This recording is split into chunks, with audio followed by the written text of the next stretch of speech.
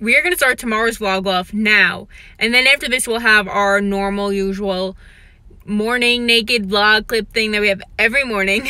but I literally got to work early. And by early, I mean I have one fucking minute to kill.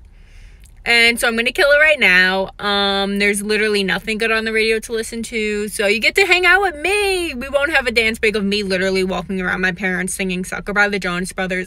I am sorry. Um, I'm literally waiting for it to turn from 19 to 20, the clock, to get into my car. Okay, now it's 20, so now I'm gonna go.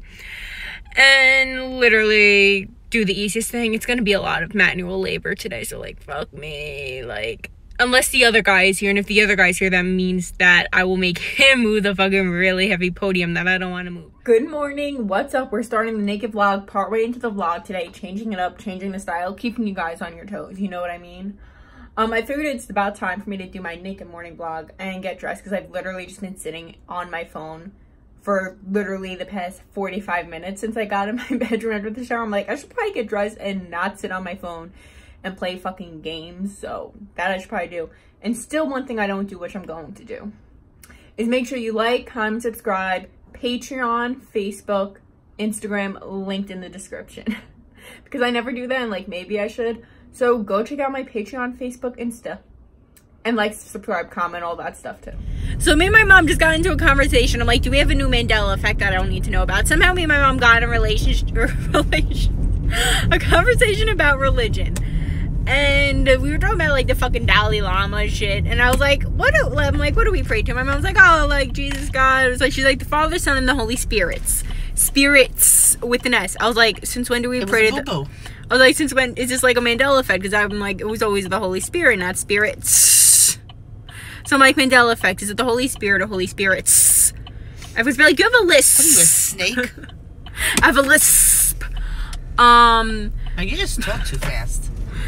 Oh, no, no, no, no, no, no. You're there, But- Chaz Bunny. Take your battery out. yeah, but yeah, so Mandela effect. What do we pray to? Is it one spirit? Is it multiple spirits? Spirits? Or just a spirit? Spirit. Such a bitch. Leave it in the comments below. And I'm a bitch. Leave that in the comments below too. Everyone thinks I'm a bitch because I haven't shown them my titties. Plot twist, I'm really a guy. Really shitty lighting. Sorry, not sorry. End of the night clip for the vlog.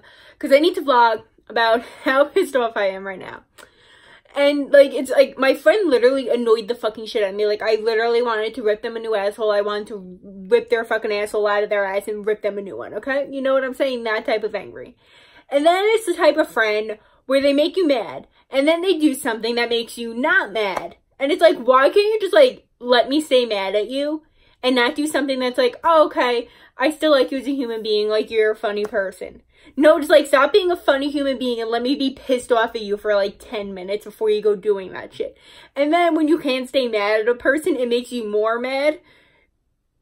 But like you're also not mad at the same time and it's like a real mind fuck. And my entire mind is mind fucked. So I'm also rescheduling my entire schedule because my entire schedule for the week just got like all twisted and turned and not at all what I thought it was gonna be.